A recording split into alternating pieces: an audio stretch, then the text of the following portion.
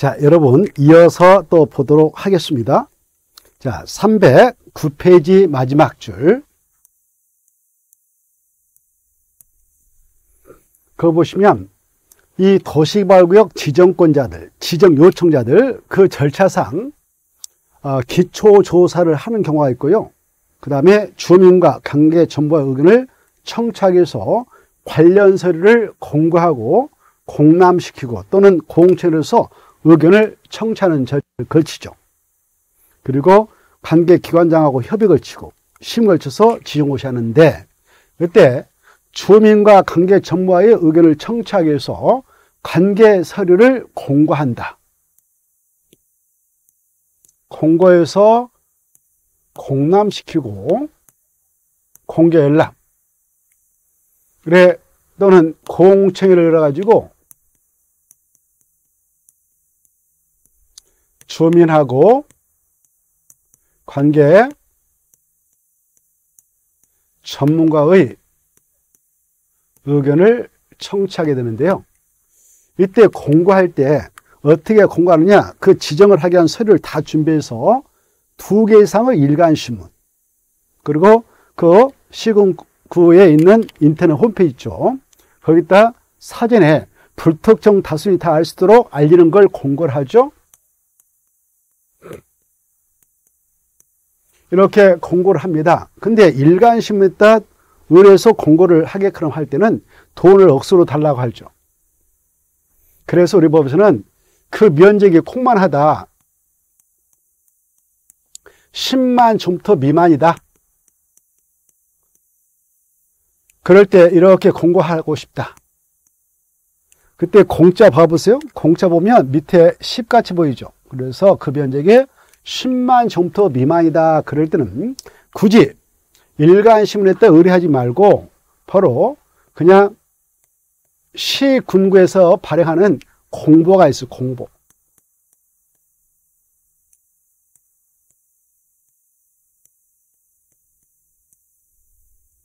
공보에다 게재하고 바로 끝을 봐도 된다라고 허용합니다. 그게 중요해요. 그 면적이 얼마 미만이면 그 일간신문에다 돈 주고 할 필요 없이 그냥 지자체에서 발하는 공보에다 게재해서 공고를 해야 되는가 그거 10만 점부터 미만 그 내용이 바로 310페이지 310페이지 손 두 번, 첫 번째 보면 나와 있죠. 10만 점토 미만인 경우에는 일간신문에 공고하지 아니하고 공부하고 시군 구 인터넷 홈페이지에다 공고할 수 있다. 그 수치를 좀 꼭 알아두실 것. 자, 그리고 이 주민의 관계 전과의 의견을 청취하기 위해서 공람 또는 공천을 개최해서 의견을 수렴하게 되는데 어, 그 지정을 하려는 면적 이렇게 지정하려는 면적이 100만 점부터 미만이다 그러면 공람을 시키든 공천을 든 그건 알아서 해도 돼요. 임의적인데요. 근데 100만 점부터 이상이다 그러면 상당히 크죠. 100만 종부터 이상이면 공람 기간이 다 끝난 다음에 공청회 개최를 필수로 해라라고 의무를 갑니다. 이거 아셔야 되겠다. 그래 그 면적이 얼마 이상이면 공람 기간 걸치고 난 다음에 공청회 개최를 필수로 해야 되는가? 100만 종부터 이상. 그래 이것도 힌트를 여기서 잡읍시다. 이 공청회 보세요. 공청회를 보면 이렇게 보이고요. 이렇게 보이죠? 이렇게 보이죠. 그래서 100만 정부터 이상 이렇게 100만 정부터 이상 어, 공채 개체가 필수이다 라고 할 때는 그 면적이 얼마 이상일 때인가 100만 정부터 이상이다 이걸 수치를 꼭 암기하셔야 돼요. 거시개발 사업이라는 것은 땅을 미는 사업입니다. 그렇기 때문에 면적이 중요해 면적. 면적. 그래 동의 요건도 보면 토지 면적의 3분의 이상에 해당하는 토지 소재와 토지 소재 총수의 2분의 3을 도입받아라. 이런 면적이 먼저 나오고 나중에 사람 머릿수가 나중에 나오죠. 왜? 땅을 미는 사업입니다. 도시발 사업. 그래서 면적 규정이 많이 나옵니다. 면적. 아까 그 면적이 10만 정부터 미만이면 어, 그 일간 시험했다 의하지 않고 공부했다 공고도 된다 그랬죠. 그 면적이 얼마에서 하면 공람 기간 끝난 후에 공람 기간 다 거친 후에 공청회 실을 반드시 해서 주민과 관계청원을 청취하도록 되는가 100만 이상. 그리고 전 시간에도 보았습니다만은 개발 수업할 때 그 면적이 얼마에서 하면 복합적 기능, 주거 기능, 뭐 생산 기능, 교육 기능, 유학 기능, 뭐 유통 기능 이런 거 있죠. 여러 가지 복합적 기능이 서로 조화가 이루어지도록 개발 계획을 꼭 수립해야 되는가? 330만 제곱미터 이상. 이런 수치들이 잘 나와요. 10만 미만, 100만 제곱미터 이상, 330만 제곱미터 이상. 서로 조화, 서로 조화가 이루도록 해야 된다. 그러면 330만 제곱미터 이상. 서로 조화, 조화, 조화 하다 보면 이렇게 하트가 나가죠. 하트가 뭐같이 보여요? 삼삼하게 보이죠. 그러니까 330만 제곱미터 이상. 이거 수치 암기하시고. 또 숫자가 나옵니다. 이 지정권자 조금 전에 전 시간에 봤죠. 지정권자 도시발구역 지정권자 하면은 시도사 대도시장이 있고요. 국토교통부장이 있었죠. 이때 이 지정권자인 시도사란 자들 이 자들이 자기 관할구역에다가 도시발구를 이렇게 지정을 하려고 한다. 지정하는 절차상 기초사 임의적이죠. 주민과 관계자와 의견을 청취하죠. 그 다음에 관계기관장과 협의하죠. 그리고 바로 도시계는 심을 쳐서 지정오시 합니다. 그때 협의하는 절차상 국토관리 총괄 대장인 국토교통부 장관하고 반드시 협의를 해야 된다라는 면적이 있어요. 이 지정권자의 이 시도사 대도시장이 도시발굴을 정할 때에 협의를 거치는 절차가 있는데 그때 국토교통부 장관과도 협의를 꼭 해야 된다. 그래서 국장이 협의 안 해주면 지정 못한다. 너네들 이런 면적이 있습니다. 그 면적이 얼마 이상일 때는 국토교통부장으로 협의하느냐 50만 정도 이상 이 숫자가 개정되었고 올해 중요하니까 꼭 알아두실 거 거기 나와 있죠. 자 거기 어, 도시보구역이 50만 정도 이상이다. 그럴 때는 이 지정권자인 시도사 대도시장은 바로 관계행정기관장과 협의하는 경우 마지막에 국토교통부 장관과도 협의를 해야 된다고 하셔야 돼요. 얼마 이상일 때는 협의를 국정하고도 해야 되는가? 50만 꼭 암기하실까? 자, 또 면적규이 나오죠. 이 도시개발구역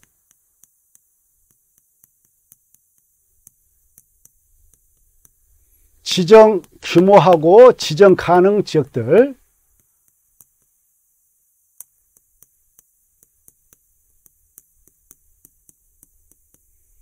알아두셔야 되겠습니다. 그래 이 전 국토를 이렇게 변형해서 도시 지역이 있고요. 국토에는 도시역 예허지역이 있죠. 예자가 밖에 자죠. 도시역 밖이 있단 말이죠. 여기 도시 안쪽.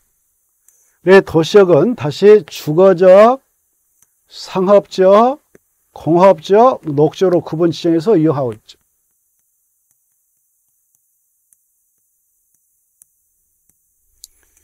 이 녹적은 도시 안에 산에다 주로 지정한 것이 보존 녹적이죠. 그 밑에 농지가 있다 그러면 생산 녹적을 지정하죠. 그리고 자연 녹적도 있죠. 불가피한 경우 하나의 제한적인 개발을 허용하자 해서 자연 녹적이 지정되어 있죠. 이렇게 있는데요. 그리고 도시적 여지이라는 것은 계획관리적이니 생산관리적이니 보존관리적이니 이런 관리적 하고요. 농림적 하고요. 자연환경 보존적 있는 거 아닙니까? 그렇죠? 이때 도시개발구역을 지정한다. 지정권자들이 도시개발구역을 지정할 때 도시역 안에 있는 땅 마음대로 팍팍 정할 수 있냐? 아니다. 보존 녹정은 지정 못한다 이렇게 하시고요. 나머지 적은 면적이 충족돼야 지정할 수 있다. 면적은 주거적 1만 종태 이상, 상업적 1만 종태 이상, 자연녹지, 생산녹지적 1만 1만 이걸 약자로 주상자생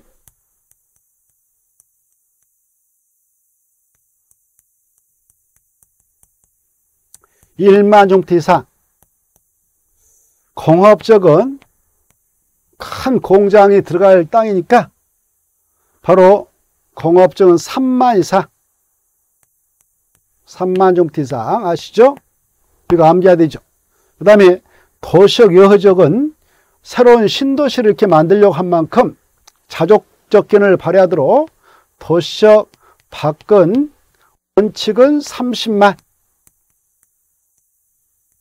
이상 예외로 아파트 연립택을 건축하려고 건설하려고 한다. 외해적으로 아파트 연립택만 건설하려고 하는 그런 도시를 만들려고 한다. 그때는 10만마 있어도 된다. 이렇게 지정 규모. 이건 달달달 암기를 하셔야 되겠다. 자, 그 다음에 이 도시발구역 지정권자들 있죠?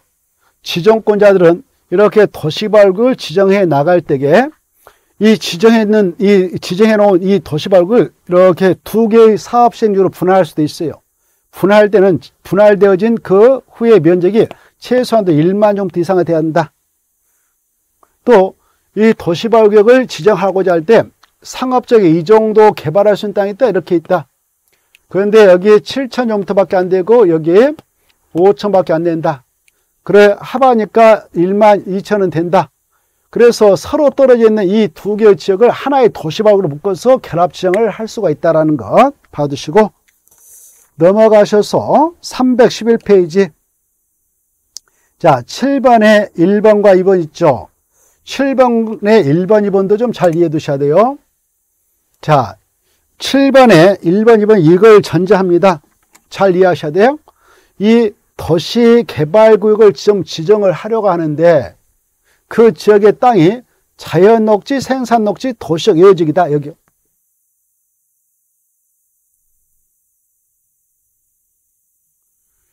그래 이 지역을 전제하고 자연 녹지, 생산 녹지, 도시적 여지역에다 도시개발구역을 지정을 하려고 할 때게요.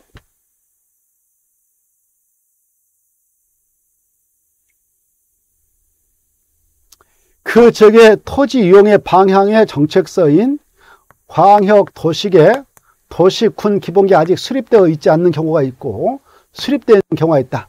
수립되어 있다면 그 계획에서 이쪽은 음, 앞으로 개발해도 된다라고 정적으로 방향을 제시해놓고 있어요. 그러면 개발 가능한 땅을 확보해서 지정하면 돼요. 근데 광역 도시계획 도시군 기본계획이 수립되어 있지 않는 그런 상태에서 도시발국을 지정하려고 한다라고 할 때에는 바로 이 용도 지역 특성상 제한적인 개발을 허용하고 있는 자연 녹지역하고요 계획관리역만 지정을 할 수가 있다. 이렇게 하셔야 돼요. 그래 어, 이 두 가지 계획이 아직 수립되어 있지 않다면 어디다만 정할 수 있냐? 계좌식. 식재는 날려버리고 계획관리하고 자연 녹지역에다만 정할 수 있다. 암기. 자 그 다음에 그런 내용이니까 잘 봐두시고 그 다음에 이제 이 도시개발을 이렇게 딱 지정했다. 그러면 도시개발 사업을 해야 할 장소니까 행위자이 가해진다 그랬죠? 행위자는 한 문제 갑니다. 잘 봐두셔야 돼요. 자, 그 내용이 312페이지 나와 있죠? 여러분께서는 312페이지를 잘 또 이해하시고 정리해 두셔야 되겠네요. 자, 제한된 행위가 있는데 그 제한된 행위를 하고 싶다. 그때는 허가받아서 해라. 이렇게 하고 있죠. 그래서 도시발교 안에서 행위장 안에서 허가사항이 일곱 개 있다. 허가사항이 일곱 가지 있죠. 약절이 이거 뭐라고 그래요? 건, 콩, 토, 토, 토, 물, 주까지. 여러분은 꼼꼼히 봐주실 것. 건축물과 가사 건축을 포함해서 건축, 대선, 용도면 허가받아라. 공작물 설치, 토지 형질 변경, 토서 허처치. 토지 형질 변경에는 공유수면 매립도 들어가죠. 그 다음에 토지 분할, 합병을 허가 대상이라는 걸 꼭 유념하셔야 돼요. 분할이다, 분할. 그리고 토소 채취. 물건을 쌓을 때 무조건 허가받는 게 아니라 옮기 쉽지 않은 물건을 일개성 쌓을 때 허가받는다. 20일 쌓을 때는 허가 안 받는다. 중목월치 식지 허가받습니다. 자, 그런데 허가를 받아야 할 사항을 허가 안 받고 했다.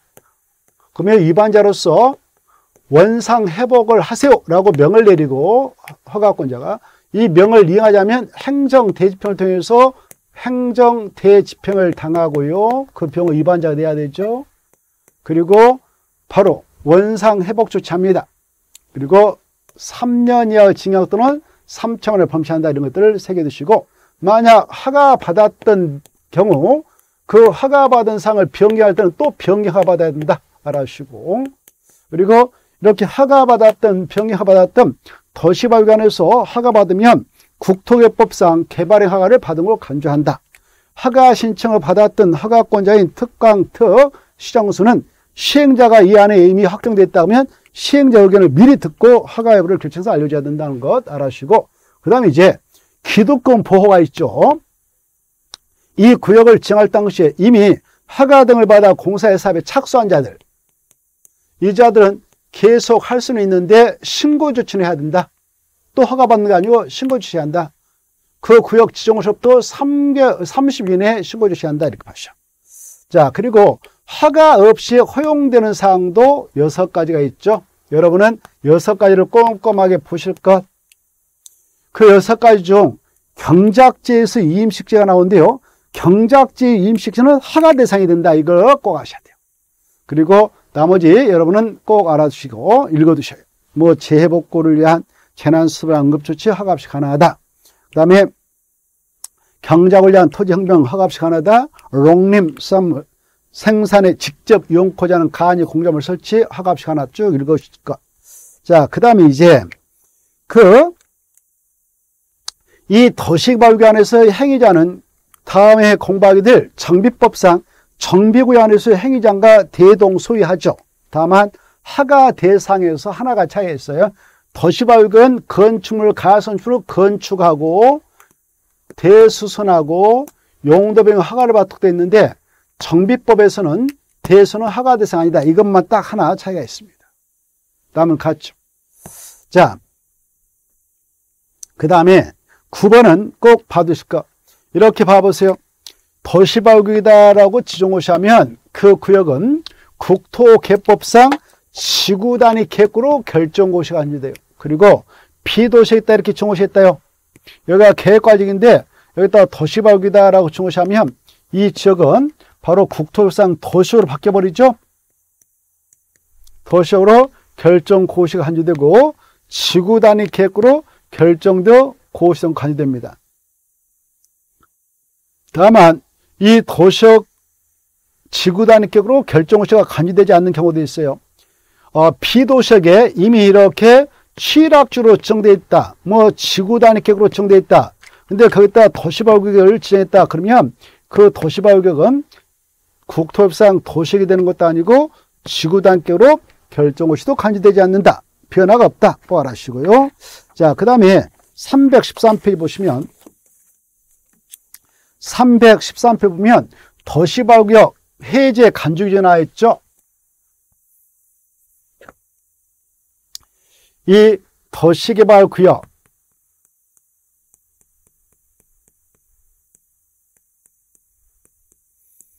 해제 간주되는 경우가 있습니다. 그리고 해제되었을 때 효과를 좀 아셔야 돼요. 해제 효과. 자, 이렇게 먼저 개발 계획을 짜가지고 그 계획서에다 도시발구역 범위 위치 면적을 넣어서 딱 고시했다. 그러면 도시발구역도 함께 지정고시가 이루어지죠. 도시발구역도 구역도 지정고시가 있게 되고 시행자도 확정되죠. 이렇게.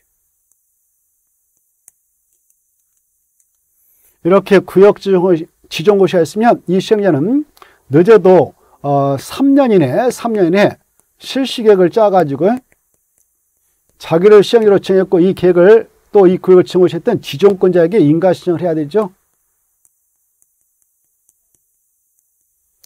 3년에 인가 신청을 하지 않았다 그러면 3년이 된 날 다음 날에 다음 날 꼭 나와야 돼요.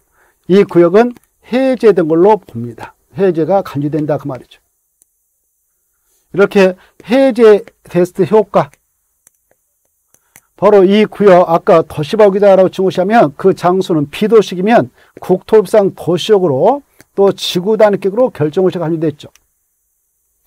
그래 예컨대가 계획관리겠다. 그런데 도시발굴 증오시함으로써 계획관리기 도시로 바뀌고 또 이 땅이 지구 단위격으로 결정호시가 간주됐다. 그런데 바로 3년이 되는 까지 실시에 인가 신청을 하지 않고 3년이 되나 다음에 해제했다. 그때 해제 효과는 도시 발격 지정 이전의 용도적인 계획 관리로 환원된 것을 보고 지구 단위격은 폐지 등을 본다 이렇게 하셔야 돼요. 그리고 이 실시에 인가 신청을 해서 인가 고시받아서 사업을 계속 진행했다. 사업이 끝났다. 공사 끝나고 완료됐다. 이때 수용 방식인 장소, 환지 방식인 장소 이렇게 두 가지 경우로 나눠볼 수 있는데요. 어, 이 환지 방식을 가지고 사업을 끝냈다면 공사 완료 공고가 있었다. 그러면 사업이 다 끝난 거 아니죠.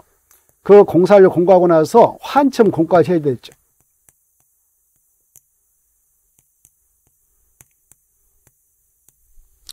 그래 이 수용 방식을 가지고 사업했다면 공사료 공고가 있으면 끝나는 겁니다. 4번.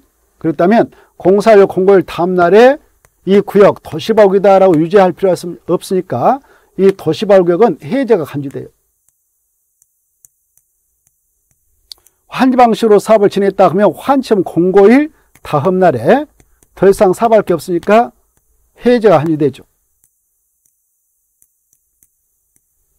이때 해제가 간주됐을 때 효과 바로 사업을 하지도 못하고 해제됐을 때 하고 사업이 완전히 종결되고 나서 해제됐다는 효과가 다르겠죠. 이렇게 공사 완료 공사 완료 공고일 다음날에 해제가 간주됐다. 한침 공고일 다음날에 해제가 간주되면 사업이 다 끝나고 나서 해제됐으니까 해제 효과로서는 도시발격 지정 이전의 용도적인 계획관리로 환원되지 않습니다. 그냥 도시로 확정되죠. 그리고 이 지구 단위계획은 폐지되는 걸 보지 않고 그대로 지구 단위계로 확정되죠. 잘 받으시고 그 다음에 이제 만약 이렇게 도시 발구역을 먼저 지정고시하고 나중에 개발 계획을 수립해서 진행한다. 조금 전에 전 시간에도 말씀드렸죠. 이랬을 때는 이 면적이 330만 총터 미만이다. 미만이면은 몇 년에 이 개발을 쓸 곳에서 나가야 되냐? 2년. 그렇지 않으면, 않으면 2년이 되는 날, 다음 날에 이 구역은 해제가 간주되죠. 해제됐을 효과는 똑같습니다. 아까 사바지 않고 했을 때하고. 이 구역 지정 이전후 용도지로 화하는 등에서 보고 지구단위권 폐등 본다. 그리고 이 면적이 330만 총터 이상이다. 그러면 이 구역 지정호시부터 몇 년의 개발 수고시야든가 5년. 그렇지 않으면 5년이 된 날 다음 날에 해제가 환원된다 그랬죠. 효과는 조업령과 똑같아요. 그리고 이 기간 내에 개발계획 쓸 곳이 있었다. 그러면 이 개발계획에 의해서 시행자가 확정 곳이 되죠. 그래서 그 시행자는 바로 이렇게 실시계획을 작성해서 인가 신청을 해야 되는데 그 면적이 330만 점대 이상이면 3년이네. 그렇지 않으면 3년이 된나 다음에 해제가 한정되고 그 면적이 330만 제곱대 이상이면 5년에 실시계획 인가를 신청해야 된다. 그렇지 않으면 5년이 된나 다음에 해제가 한정된다. 이 흐름을 잘 봐두셔야 돼요. 이때 이제 정리하면은 연과 연 사이에 실시계 인가를 신청해라 할 때 실시계 인가 나오면은 여섯 자다 생각하고 여섯 자를 네모치고 쪼개 쪼개면 앞에도 세 자니까 3년 뒤에도 세니까 3년 이렇게 하시고 연과 연 사이에 개발계획이 보이잖아요. 개발계획 네자 딱 찾아가 네모치고 절반 쪽에 그러면 두 자니까 2년 뒤에도 2년. 다만 그 면적이 330만 중대 이상이면 개발계획 보이던 실시계 인가가 신청이 들어가던 바로 3년, 2년 이거 생각하지 마시고 330만 중대 이상이면 무조건 5년, 5년, 5년, 5년 꼭 암기하시기 바랍니다. 자, 그래서 313페이지 그 1번, 2번, 3번을 좀잘 받으시고 314페이지 시행자로 지정할 수 있는 자 박스 안에 1번, 2번, 3번 꼭 받으셔야 돼요. 어, 그 공공시행자 국지전공이 있다 받으시고 민간시행자 특히 토지소자지 건축물소자 아니다. 도시발조합이지 도시재개발사업조합 아니다. 꼭 받으시고 다음에 읽어보시고 그 다음에 도시발조합은 도시발교육 전부를 환지방식으로 시행할 때만 시행자가 될 수 있고 수용 방식은 시행자가 될수 없다. 받으시고 그 다음 민간 시행자가 바로 신탁업자하고 신탁계약 체결해서 사업할 때는 지정원조 승인받아야 된다. 받으시고 자, 그 다음에 마지막 선을 보시면은 마지막 손. 이 마지막 선을 보면 시행자가 되었던 자 중 공공시행자 있죠.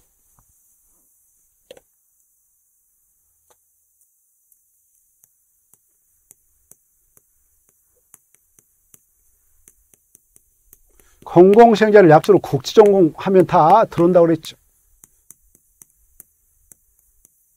국가, 지방자치단체, 지방공사, 정부 출인관 2명, 국가철도공단, 제주국제자유도시 개발센터, 공공기관, 포수농, 간철매 알고 계셔야 되죠. 이 공공시행자가 도시개발 사업을 하게 된 시행자가 됐다. 그때 도시개발 사업 중 일부 업무를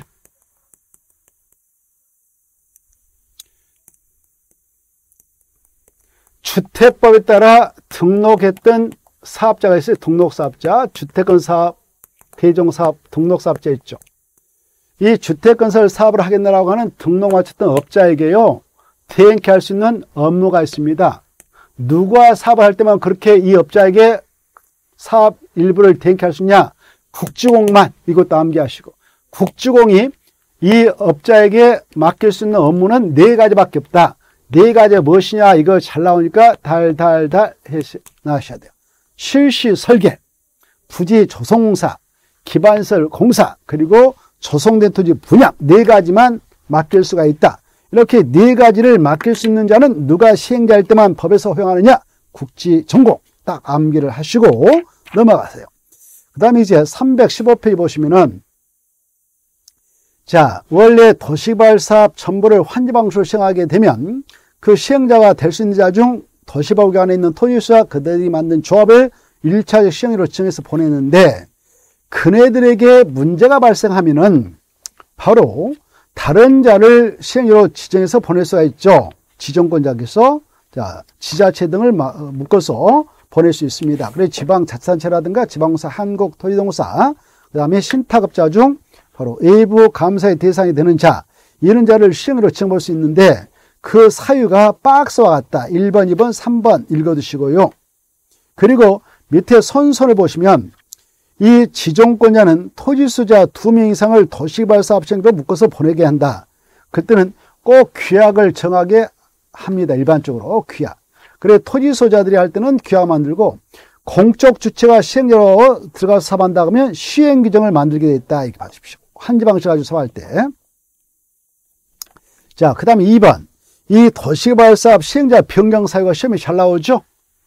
그래 이 시행자로 지정권자로부터 지정받았던 이 시행자 때로는 변경당할 수도 있죠. 그때 변경 사유 쪼개면 다섯 개가 됩니다. 그래서 아주 출제가 잘 돼요. 그래 이 다섯 가지로는 잘 받으셔야 되겠습니다. 어떨 때 시행일을 변할 수 있냐 숫자 나온 게 중요해요. 1년, 2년 이런 게 나오잖아요. 그래 도시개발구역 전부를 환지 방식으로 시행해 나가겠다. 그때는 시행자는 토지 소자 그때 맞는 조합을 정해주는 것이 일반적인데 그 시행자였던 자가 바로 도시발구역 지정으로부터 몇 년의 실식 인가를 시행하면 아웃시킬 수 있냐? 1년 이거 중요 1년. 6개월 하면 틀려 1년. 그 다음에 누가 시행했던 실식의 고시 떨어져서 사업 들어도 해줬는데 몇 년 동안 미적거리죠. 사업 착수하면 변경할 수 있냐? 2년.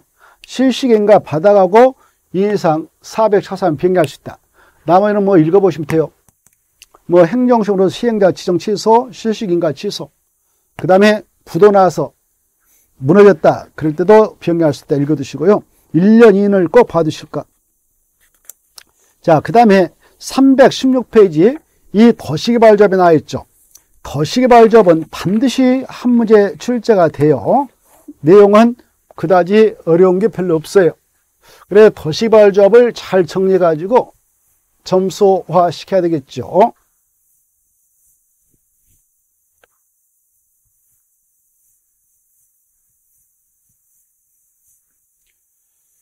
자,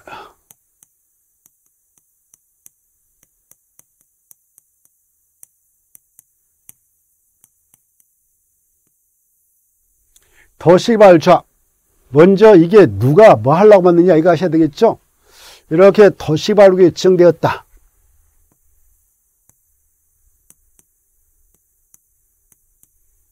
지정권자가 있겠다. 지정권자는 공부했죠. 뭐 시도사, 대도시장, 국장 이런 자들이죠.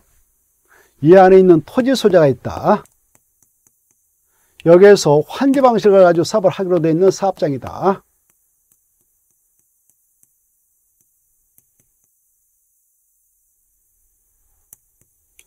그랬을 때 얘네들이 조합 만들어서 시행자가 되겠다.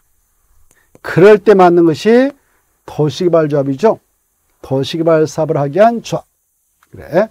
그러면 이런 조합은 어떠한 절차를 거쳐서 어떻게 해서 탄생되느냐? 임원은 누가 되느냐? 조합은 누가 되느냐? 이런 것들을 정리하면 되겠죠. 이 조합을 설립하는 절차.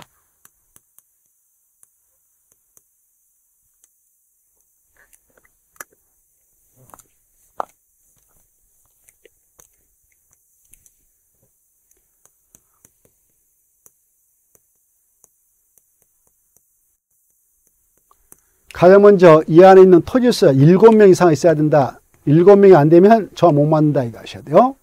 7명 이상 우리 조합 만들자라고 의사표시를 해서 합동적 법률행위를 하게 되는데 그걸로서는 불완전한 법률행위에 불과하니까 유하게 효력을 발생하지 못하도록 규제합니다. 그래서 행정청이 지정권자에게 결제받는 인가를 받아가라 이렇게 하고 있죠. 그래서 설립인가의 신청을 하게 되는 것입니다. 가장 먼저 바로 조합을 설립할 때는 설립 인가를 신청해야 돼요. 누구한테? 지정권자한테. 인가 신청할 때는 법에서 요구하는 동의자 수를 맞춰서 가야 돼요. 그게 중요하죠. 이 안에 있는 토지 수자 얼마의 동의서를 들고 가야 설립인가를 내느냐? 바로 환지 방식을 가지고 개발 결제할 때하고 똑같아. 토지 면적의 면적의 3분의 이상에 해당하는 토지 수자와 토지 소자 총수의 2분의 4. 이 수치 꼭 암기해야 돼요. 알겠죠? 그리고 아까 말씀드렸다시피 이 안에 있는 토지수 7명 이상이 이렇게 주도해 가지고 가야 돼요. 숫자 암기해야 돼요. 그리고 조합 만들어서 이렇게 운영하겠다는 정과 만들어서 첨부해서 내야 되죠. 이런 식으로 해서 인가시에서 인가를 받았다라 합시다. 그래 이제 요건 맞춰서 설립인가 받았네요. 인가 받았다 해서 조합이 바로 성립되냐? 아닙니다. 이 조합은 법인 등기를 해야 성립이 돼요. 그래서 설립인가 받고 나서 주된 사무 소재가 30일 내 법인 등기를 채야 됩니다.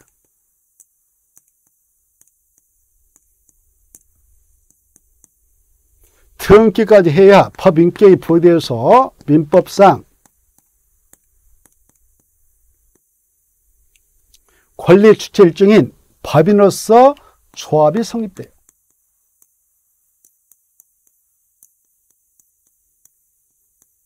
이렇게 성립이 되려면 뭐까지 꼭 맞춰야 되냐? 등기. 등기 없이는 조합 성립되지 못한다. 이건 이제 기본적으로 암기하시고.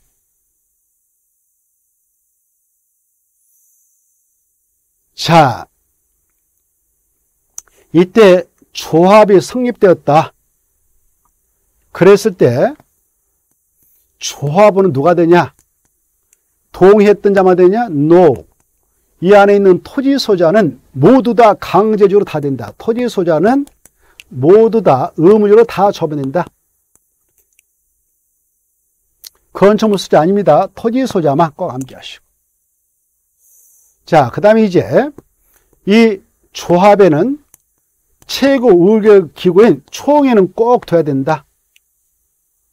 총회 권한을 대행하는 대원을 둘 수가 있는데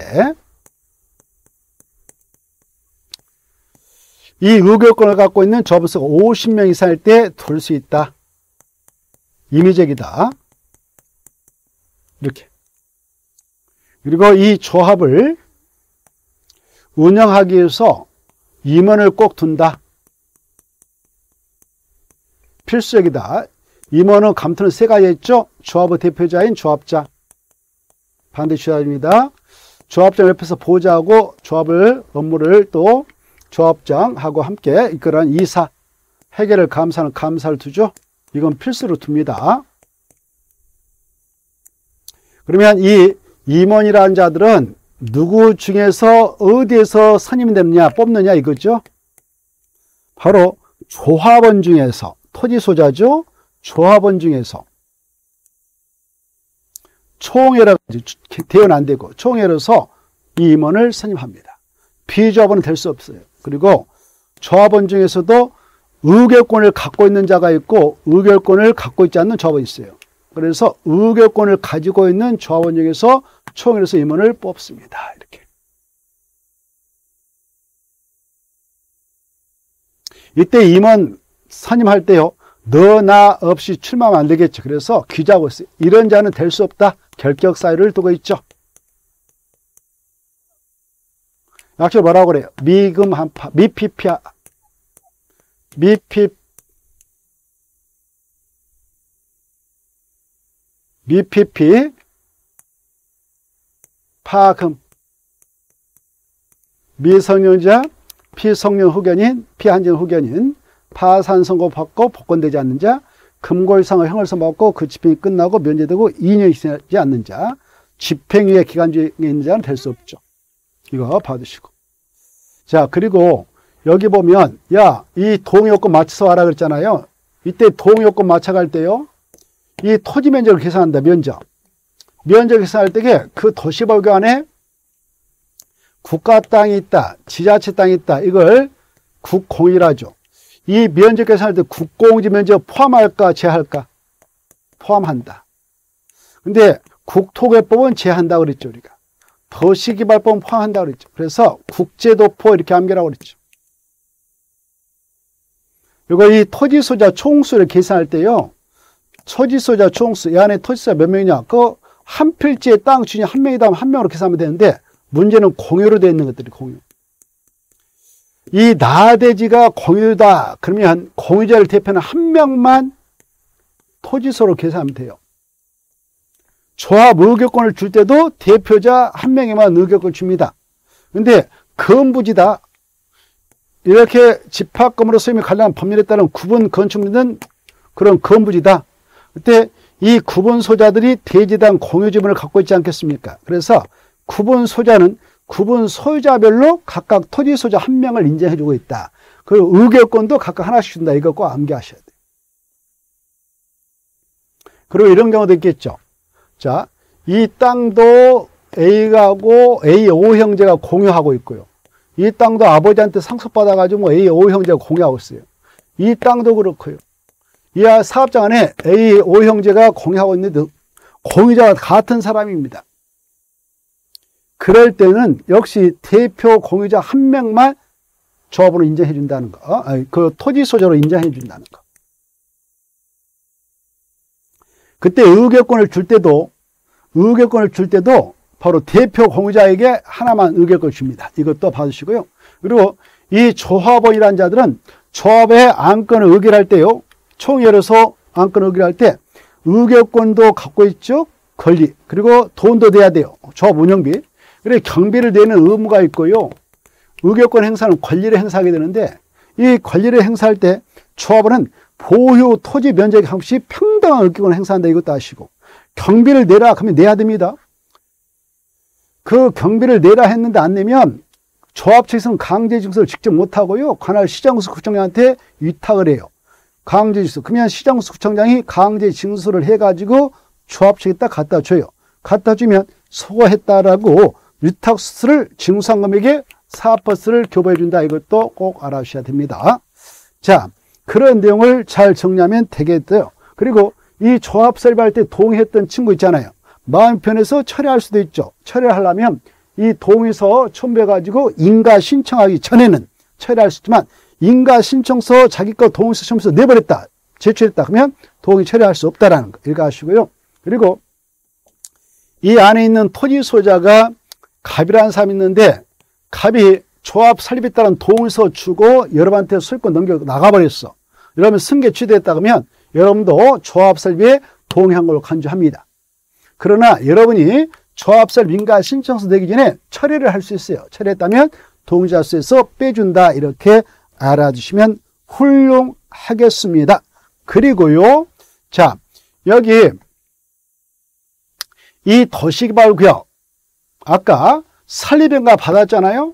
산리변가 받고 나서 인가받은 내용을 변경하고 싶다 그러면 원칙은 또 변경 인가 신청 인가받아야 돼요. 그런데 인가받았던 내용 중 경미한 상은 변경할 때 그냥 변경 신고하고 끝을 봐도 되는 건이 두 개 있다. 이게 잘 나와요. 어떤 상은 경미한 상으로서 변경 신고하면 끝이냐. 애당초 인가 받아갈 때요. 우리 조합 사무소를 뭐 지겠다 둘래요. 그랬는데 인가 받고 나서 그 주된 사무소를 다른 데 이사 가려고 합니다. 이렇게 주된 사무소의 그 니저는 경미한상이니까 신고만 해야 된다 이렇게. 그리고 우리 저반들한테 이렇게 이렇게 알릴 거예요 라는 공고 방법도 정해서 인가받아가는데 그런 공고 방법을 변경할 때도 경미한상으로서 변경 신고하면 된다 이렇게 이해해 두시고 그 다음에 아까 이 동요권 맞출 때 국공이도 있고 사유가 있다. 그러면 일단 사유지를 국공이를 일단 제하고 사유지를 가지고 계신 분들 거 먼저 동의받고 이 요건에 매달리면 나중에 국공이 관리청한테 가서 동의받아서 이 동의요건을 맞추면 된다. 이렇게 동의받는 순서도 거기 기록이 되어 있으니까 봐두시기 바라고. 자, 317쪽으로 가셔가지고 317쪽으로 가셔서 이 조합에 관하여 도시개발법에 규정하고 있는 이 규정을 먼저 적용하는데 없으면 민법 중 사단법인 규정을 준용한다. 재단법이 아니다. 조 아니다. 이거. 민법 중 사단법인 규정을 준용한다. 이걸 받으시고요. 그 다음에 이제 하나 강조할 게 있어요. 이 총회 권한 대행인 대원에서요.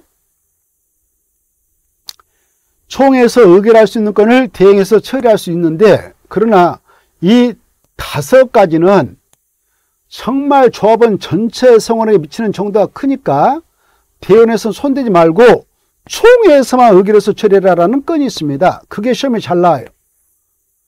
그래 이 정관 내용은 어마어마하게 중요한 내용입니다. 그래서 정관을 변경하려고 한다. 그때는 오직 총회에서만 의결한다는 거. 두 번째, 이 환지 방식을 가지고 사업할 때 환지계획 짜서 인가받지 않겠습니까? 그때 환지계획을 의결해요. 의결해서 이제 인가 신청으로 가는데 그때 환지계획을 작성해서 의결할 때도 오직 총회에서만 의결한다. 그리고 개발계획을 수립 고시에서 의결하죠. 지정원을 제출하는 경우도 있는데 그때 개발계획 수립을 해서 의결할 때도 총회에서 한다. 그 다음에 이 임원들 조합장 이사 감사 선임한다. 이것도 반드시 총회에서 한다. 중요해요. 그리고 조합의 운명을 결정하는 해산 문제 이것도 총회에서 결정한다. 합병안 또 총회에서 결정한다. 다만 청상금 지급이 완료된 후에 해산 결정은 대원에서 할 수 있지만 청상금 지급이 완료되기 전에는 합병과 해산 오직 총회에서만 의결한다. 이걸 잘 봐두시기 바랍니다.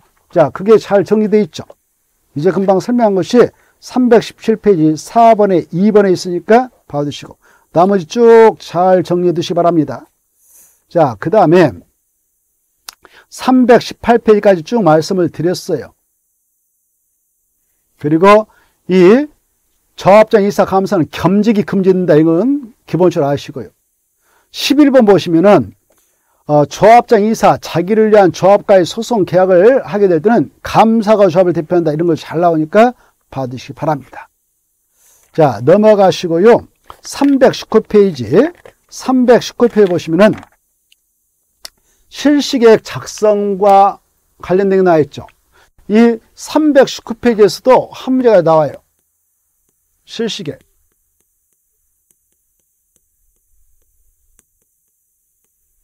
가장 먼저 실시계획은 시행자가 작성한다.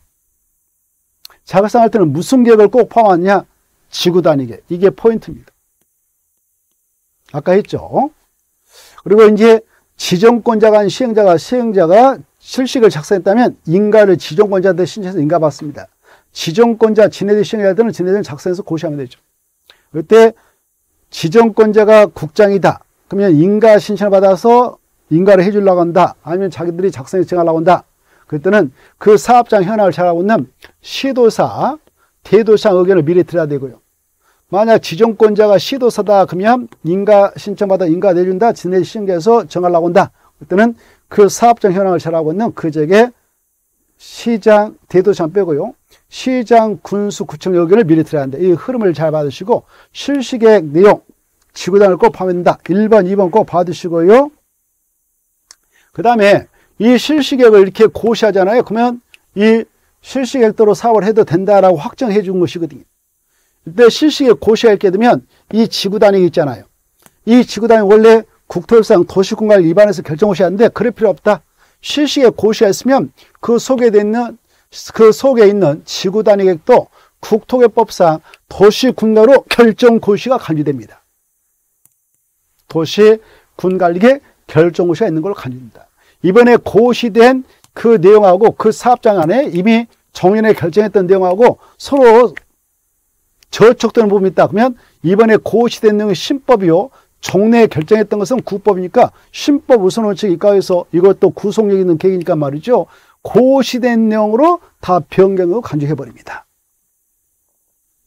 그 내용이 3번에 나와 있죠. 3번을 잘 봐주실 것. 그리고 나머지는 통과해도 되겠네요. 자, 그 다음에 320페이지 시행방식 여러 번 했죠. 시행 방식 몇 가지 있다? 세 가지가 있다. 수용 사용 방식, 환지 방식, 혼용방식. 여러분은 여기서 알아볼 거 짝짓기.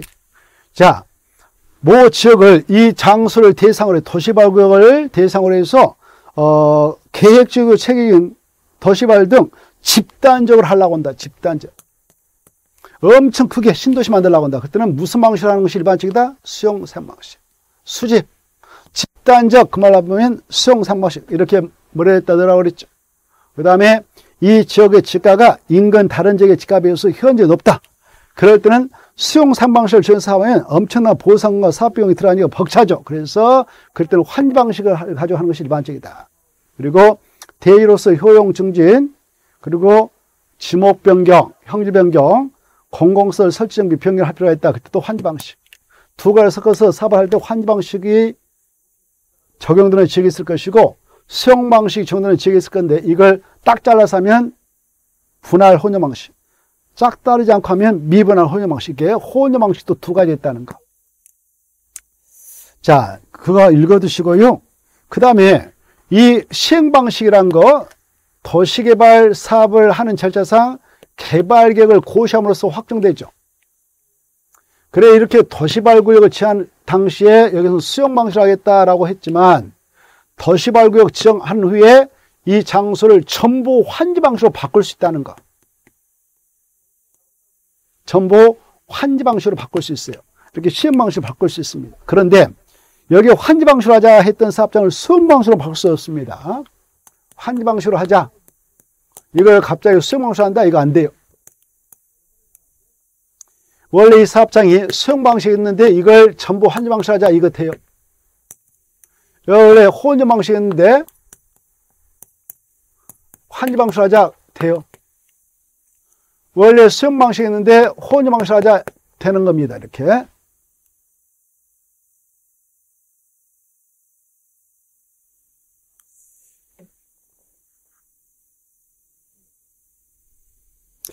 자, 넘어가시고요. 그 다음에 321페이지 통과하고요. 어, 321페이지 하나 봅시다. 이 시행자가요, 민간하고 어, 공적 주체가 연합해서 공동 출자본을 만들 수가 있어요. 그래서 사업이 끝나면 엄청난 개발익이 창출될 수가 있는데 그때 민간업자들은 사업 이익을 몽땅 가져 못하도록 규제하고 있죠. 바로 2번 나오죠. 민간 참여자 이윤율 상한은 꼭 읽어두실 것. 거기 공공시행자가 공공시행자의 출자자인 민간 참여자와 공민간 공동 출자를 설립하여 도시발 사업을 시행하려는 경우 민간 참여자 이윤율은 총 사업비 중 공공시행자 부담을 제한 비용의 10% 이내로 한다. 이 수치 좀 봐두십시오. 자, 이 시간은 여기까지 하고 쉬었다 하죠.